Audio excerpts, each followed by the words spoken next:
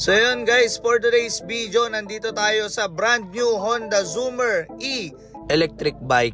Grabe nga pala tong electric bike na to guys. Kakahalaga siya ng 84,900. Wala pang accessories. Pero ito guys may accessories Yun nga pala ito. sa likod niya guys, accessories na yung upuan sa likod at na may sandalan. Ayan na nga guys, napakaganda. At ito pa guys, may traction control ito. Ayan, Honda Zoomer electric bike guys. Napakalupit talaga. At hindi lang yan guys, pag naubusan ka, ayan, 48 volts yung hub niya. Hindi ko sure guys, medyo hindi pa ako ganong marunong sa mga electric na yan. At pag naubusan ka ng charging dito guys, pwede kang magpedal. May iuwi at may iuwi mo yung bike. 350 watts, 70 kilometers, max range niya guys. Bago siya malobat. Depende na rin daw yun sa paggamit nyo guys kung medyo matutulin kayo magpatakbo. Kasi may mode din to. At may 1, 2, 3 rin kung gusto nyo ng mas matulin at mas mabagal pwede rin. Nakita nyo naman yan guys. Ngayon lang nakakita ng electric na may traction control at may USB port. May remote na rin siya. Ayan makikita nyo traction control niya. At ito nga pala yung drive, sports mode, andyan.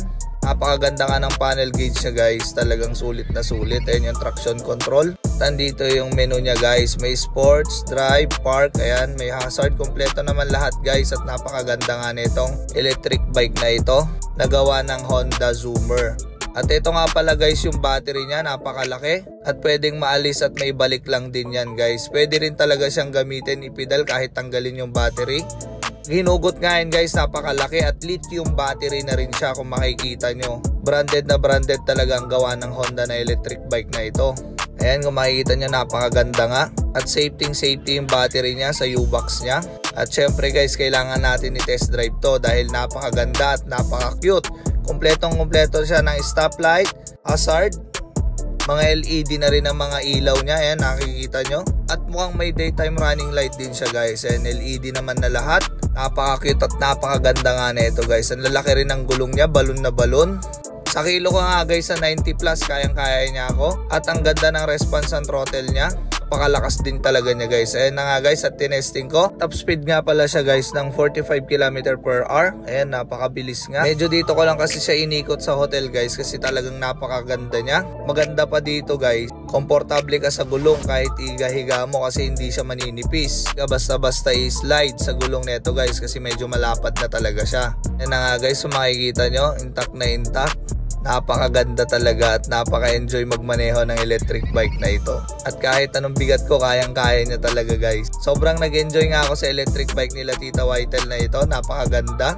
Sa tita ko nga pala itong electric bike na ito guys at napaka solid. Regalo sa kanya ito. Kaso hindi pa daw siya marunong mag single kaya pinagpapraktisan niya. Yan na nga guys kung makikita nyo dual disc brake na rin yan harap likod. Ayan tinest drive ko na nga. Ayan yung panel gauge niya guys napakaganda yung odometer niya.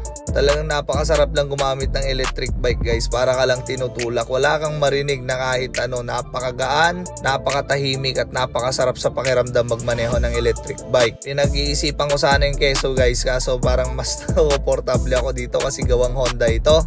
At napaka solid talaga. Medyo mataas lang yung presyo guys pero talagang mag enjoy ka talaga. Pangpasok ng trabaho kahit ano guys pwedeng pwede at kayang kaya nito sa maghapon naman siguro guys hindi ka matatakbo ng 20 kilometers kung andito ka lang sa bayan nyo.